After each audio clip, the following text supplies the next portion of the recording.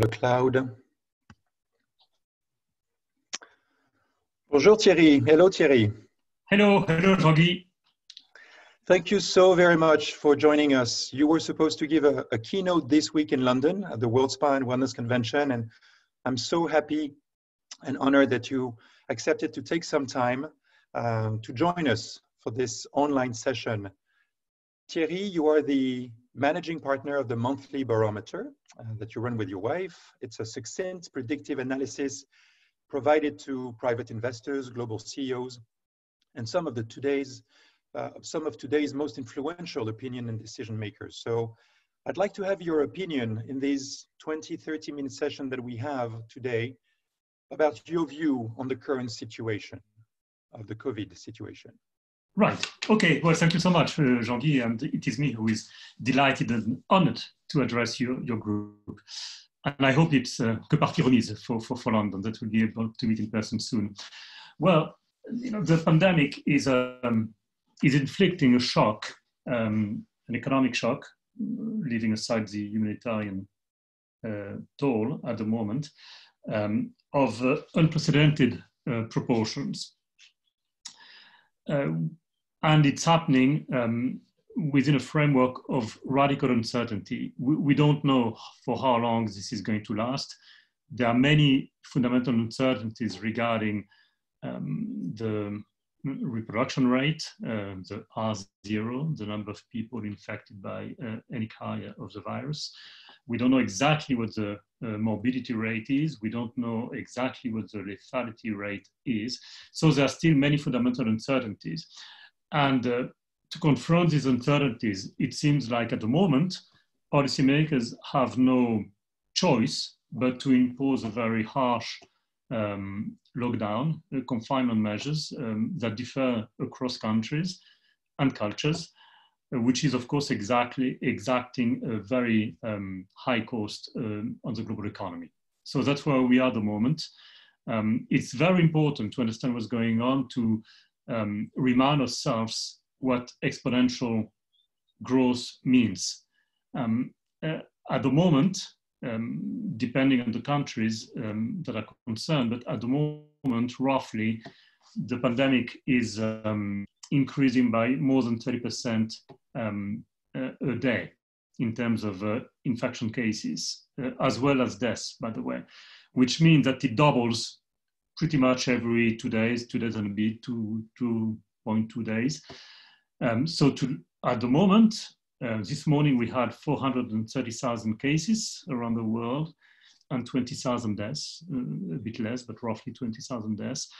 If the current rate of progression is maintained, that is, if nothing is being done, the assumption is that until the inflection point is reached, these numbers will double every two, three days. So it means that by the end of the week, we'll have 40,000 deaths Next week, we'll have 80,000 deaths. Um, mid of next week, we'll have 160,000 deaths, etc., etc. So it's critically important to understand that we're dealing with a virus that is growing uh, in terms of infection cases and deaths at an exponential rate. So everything from a policy perspective has to be done in order to flatten the curve of the progression so that health systems are not being overwhelmed with the pandemic and do everything that is possible in order to contain the progression of the disease. This is a conundrum that governments face at the moment. This is a, these, these are very scary numbers indeed with uh, the pandemic on a health crisis. What about the economic slowdown and possible economic recession we would be facing? Because with today's 20,000 deaths, and this is tragic, we are seeing hundreds of thousands of small businesses closing down, shutting down on the verge of bankruptcy. What is your take on the economic possible recession? Well, my take is the following. Um, I'm not I'm not talking about a possible recession. We are already in recession. You know, that's my take. Of course, it's very hard to measure um, what a recession uh, can be at the moment because we are just in the midst of this uh, of this um, uh, tsunami that the um, pandemic is in terms of economic impact, uh, a recession technically is two quarters of negative GDP growth, um, where you can be absolutely certain that the Q2 uh, around the world will be negative um, because uh, the pandemic is um, alive in all the systemic, uh, systemically important countries, the US, of course, economies, the US, the EU, uh, Japan, uh, China um, seems to have been able to contain the epidemic, but it's restarting very slowly.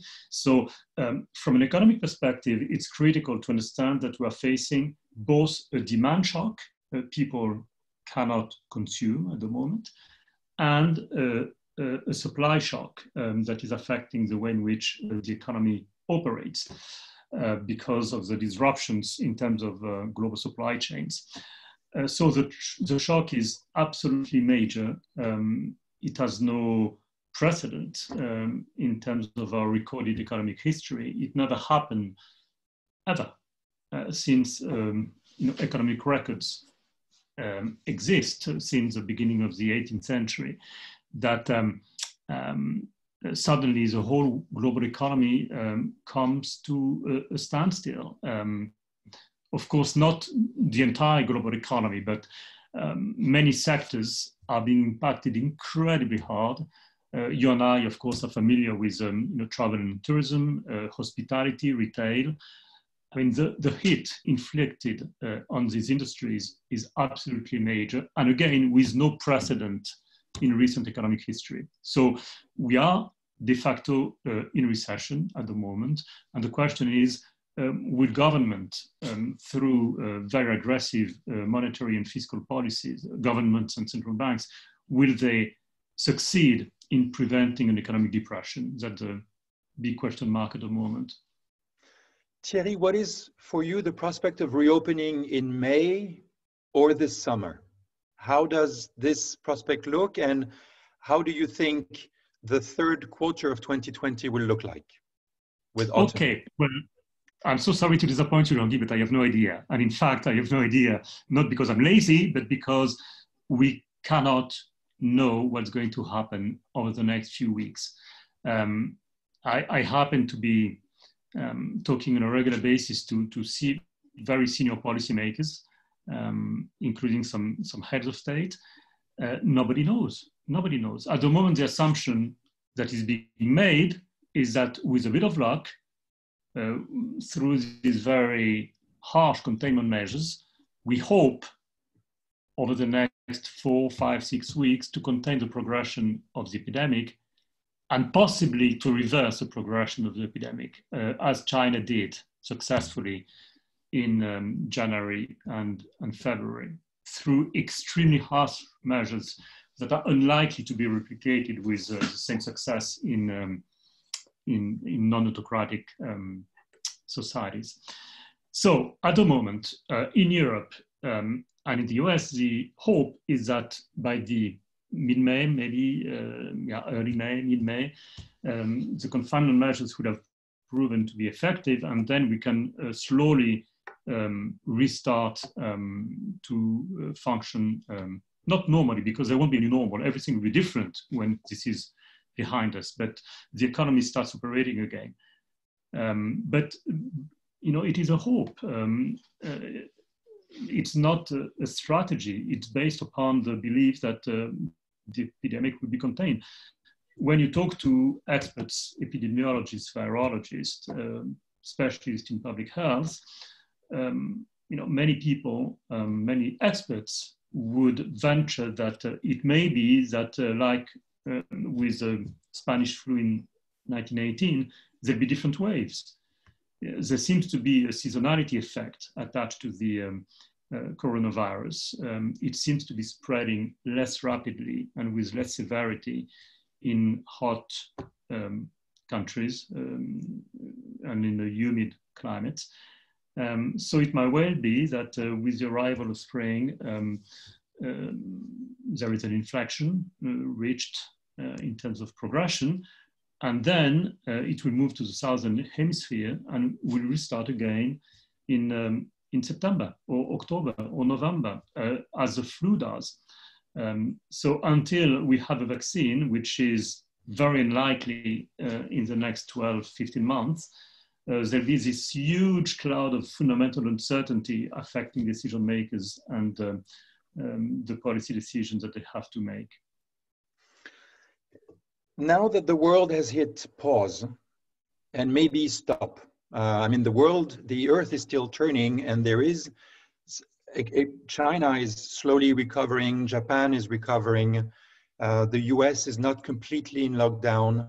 Uh, but it is definitely a pause button that, that has been hit and hit very hard.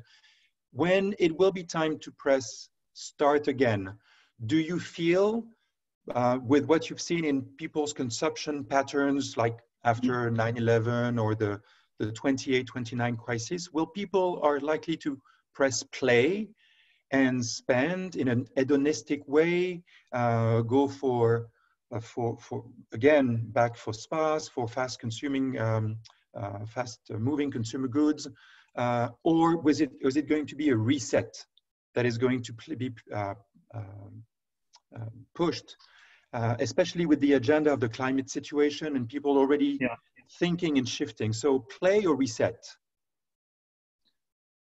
Well it could be both. Um, i'm absolutely convinced that the uh, pandemic, when it's over, will entail, will trigger a fundamental reset about everything in terms of economics, in terms of finance, in terms of uh, how we deal with the environment, in terms of tech, in terms of uh, uh societal issues.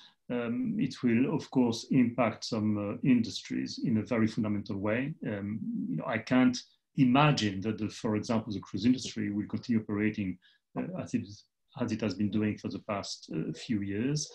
Um, you know, I think my, my industry, uh, I have a, an events business as well, uh, will be fundamentally affected by, uh, by this reset. So many, many things are going to change in a very fundamental manner, including uh, in our individual lives, how we relate to other people, how we socialize, how we consume. So there'll be a reset. Now, uh, what will happen um, when the pandemic is behind us, hopefully, totally behind us, I mean, uh, and, um, and we, we press um, the switch. Uh, two things. Well, first of all, um, you know, an economy um, does not function like that. You cannot um, switch it on or switch it off uh, and then you know, immediately it starts operating again.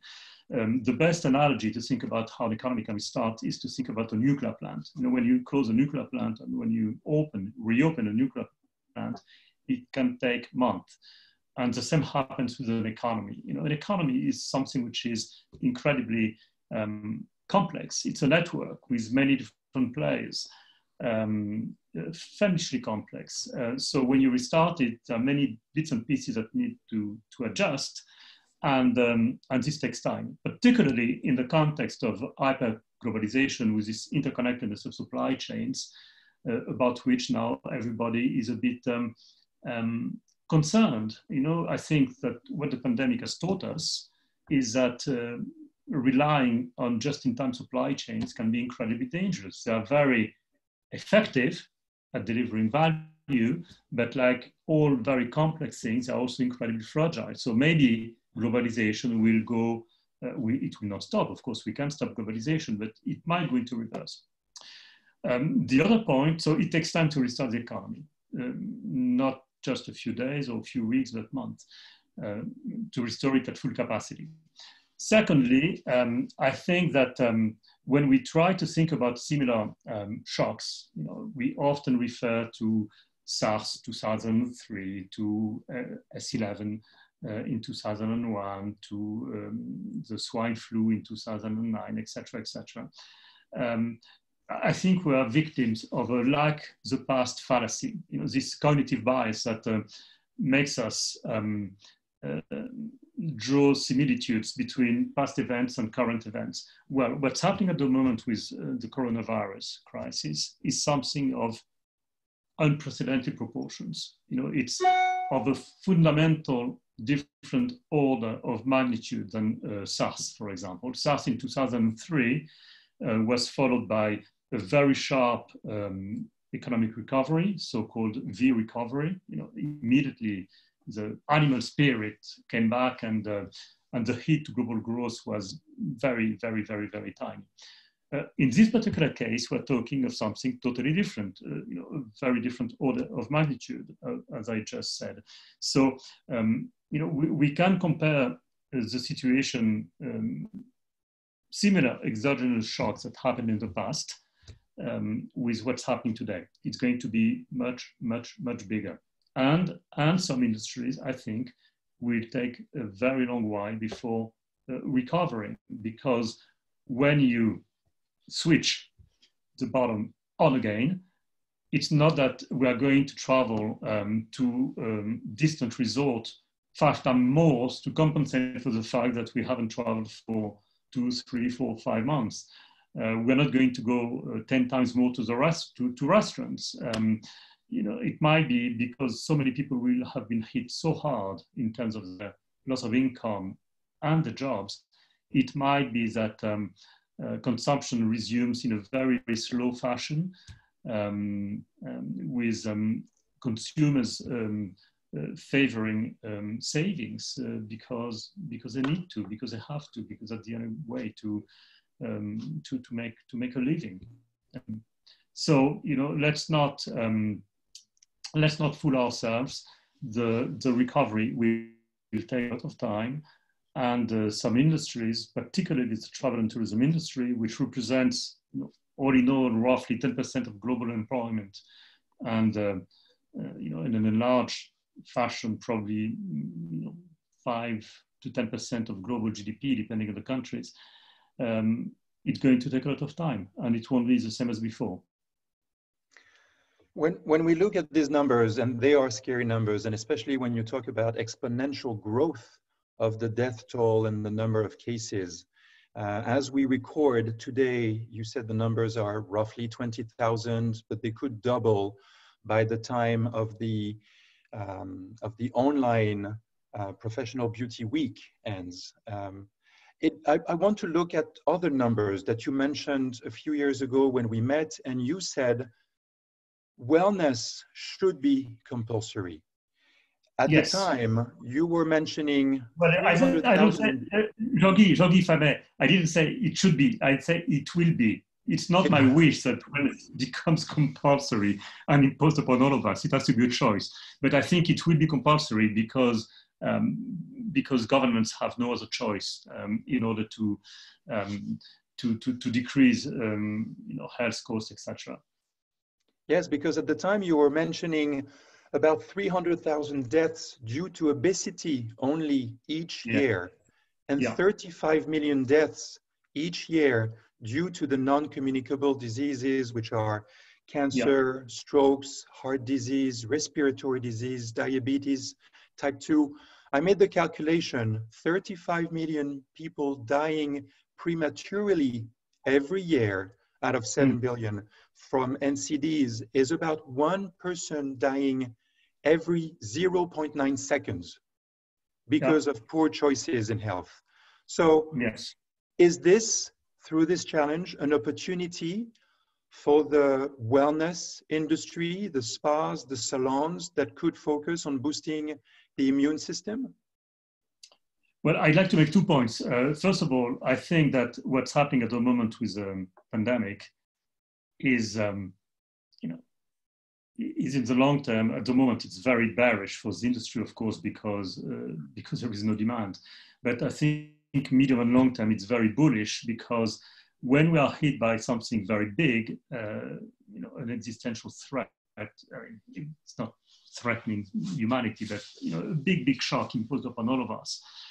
Um, uh, it favors um, um, attention and um, uh, it makes us probably ponder what is important in our lives. And um, uh, I think after the pandemic, many of us will um, realize that maybe the way forward is not uh, consuming like nuts as much as we can, but uh, to take greater care of ourselves, to have a more fulfilling life, um, to be more attuned to the needs of others, etc. So it's just you know a, a supposition. I'm not saying it's going to be like that, but maybe the attitudes will change. And certainly what will change is a realization that we need to be uh, in better shape. You know, uh, of course, um, you cannot say that Trump had that too much during the time of the epidemic, but you know, wellness helps to be um, uh, more um, resistant to diseases. It improves our uh, immune system if we do it well. Um, so I think all this is going to percolate, and uh, after the crisis, uh, everybody will um, will realize that um, wellness has to be the um, you know the, the driving parameter in terms of how we lead our lives. Um, I hope I hope it will be like that. Um, in terms of uh, in terms of death, um, uh, of course you're absolutely right. There are many deaths that occur. Most deaths, in fact, occur because of the poor choices we make. You know, as human beings, we're very very bad at making the right decisions for ourselves. Um, but uh, the pandemic cannot be um, um, it's a false equivalence to say that um, you know, pandemic uh, is going to be less important than the cases of heart diseases or um, uh, obesity, death, etc. Uh, I want to, you know, I when you sent me the, the email this morning, I looked at the uh, numbers in the US. Um, so official numbers from the CDC. So in the US, the greatest cause of death is at the moment uh, heart disease, 655,000 deaths per year, followed by cancer, 600,000 deaths per year. And then you are, um, you know, weird things, car crashes, 42,000. We don't know yet how will die. And these are not, if, if I may say so, um, you know, in a very uh, normal deaths are part of the uh, social and economic fabric of the West. We know that they're going to happen. They're not an exogenous shock inflicted upon the country.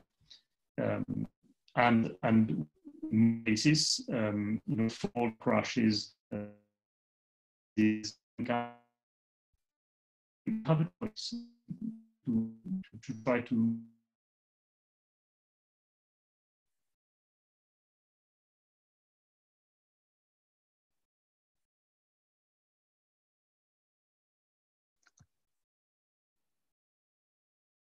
Unfortunately, we seem to have lost uh, Thierry uh, due to maybe a saturation of the of the bandwidth. Maybe there are too many people watching Netflix at that time, or too many kids uh, homeschooled and, and taking their classes online.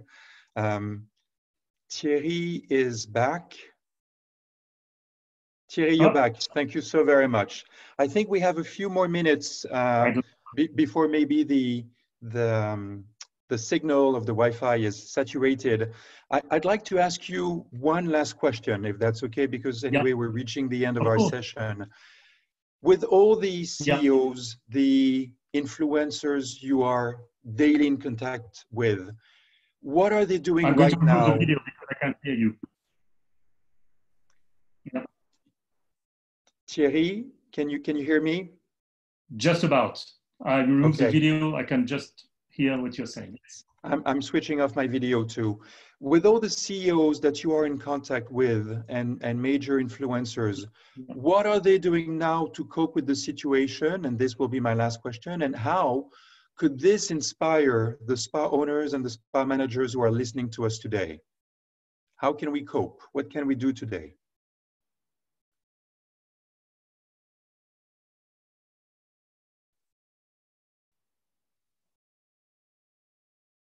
Yeah. Okay. Uh, Jean-Guy, can you hear me? Absolutely. Good, good, good. Um, well, I'm just going to repeat um, what um, what I've been hearing from a few, um, uh, you know, global CEOs. Uh, I think they're spending all of them are spending 20 hours a day uh, on the phone with uh, and, and, on Zoom and uh, um, trying to to to to sort out the impact that this is going to have on the business um, and communicating with the teams the, the lessons I can um, apply from my conversations with them and um, in terms of differentiating those who are successful, who seem to be uh, successful from the others, is, is four things, or three things, three things mainly. First of all, um, communicating clearly with your colleagues is absolutely key.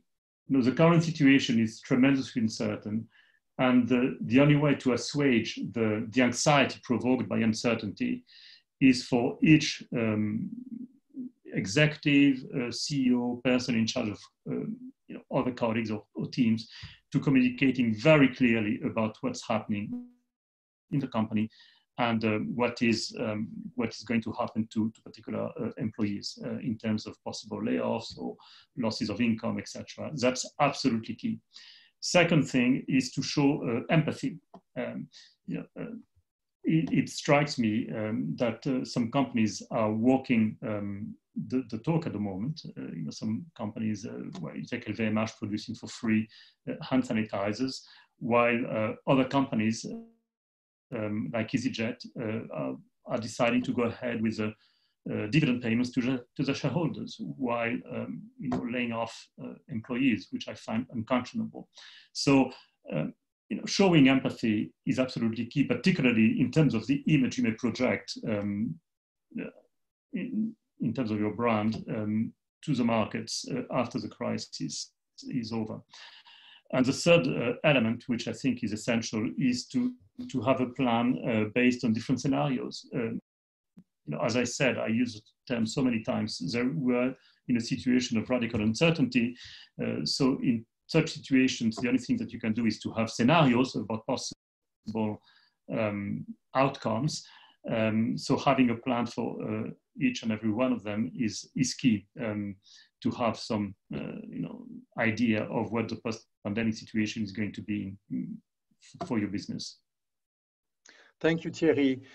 One of the examples that I've that I've seen uh, recently, and that was last week, about communicating clearly, it's something that uh, spa owners and managers can watch online. It is available on Facebook and I believe on YouTube also. It's Mr. Arne's Sorenson um, address to yes. the, the, the, his, his colleagues uh, all over the world uh, for Marriott. He mentioned that after 9 11, and after the 2008-9 crisis, the occupancy worldwide for hotels of Marriott uh, Group dropped about 20, 25%. Since the coronavirus in, um, in, in, uh, in, January, December, January, uh, in uh, China, it dropped 80 to 100%. Some hotels are closing, lots of hotels have already closed and some hotels do not know if they will reopen again. This is something he said very, very clearly. He did mention empathy and sticking together and, uh, and it's really, really important. And I really like your idea of not just having one scenario, but severals. And it reminds me of a saying that goes, um, you should have as many plans as there are letters in the alphabet. If plan A doesn't work, you have plan B, you have plan C, you have plan D, and so on. Yes, absolutely. So absolutely. Thank you so very much for your time. Is there is there a final word, final conclusion, at least of hope that you could um, that you could share with the people listening today, and then we will close. Yeah, well, I'm full of hope because um, extreme events uh, force us to be very imaginative, uh, adaptive, resilient, and uh, we always under, underestimate the power of resiliency of the human kind uh, at our peril. You know, there have been uh, many more dramatic situations uh, in the past in terms of wars, in terms of plagues, in terms of, uh, and uh, we'll rebound. And hopefully, um, tomorrow's world will be a better world, uh, more tuned to, to our needs. Indeed. The only hope based on what you said is that um, as you are listening to, to Thierry and his insights, um, please think of the many scenarios you can have in, in what you do, uh, knowing that the new normal will be very different, most likely to be very different from what we know so far. Uh, reopening with the same treatment menu, um, facials, massage, waxing, and promotions, discounts, will only destroy your profitability and may not help you with the credibility of a, a world that needs more um, stimulation and strengthening of the immune system. How can traditional Chinese medicine help? How can self um, uh, stimulation with uh, physical activity can help. Uh, detox flush probably will be very much in demand also. Mental health is definitely something that we should dig more in. It could definitely be the topic of another uh, of another session. Um, stay tuned for more. Thank you for your time, Thierry, today. Thank you. And Thank you so much. Thank you for having me. Absolutely. And there will be the details for people to continue to follow you and to subscribe to the monthly barometer. Thank you so very much for your insights and for the resource you are and for the inspiration. Bye bye, Thierry. Bye bye, everyone.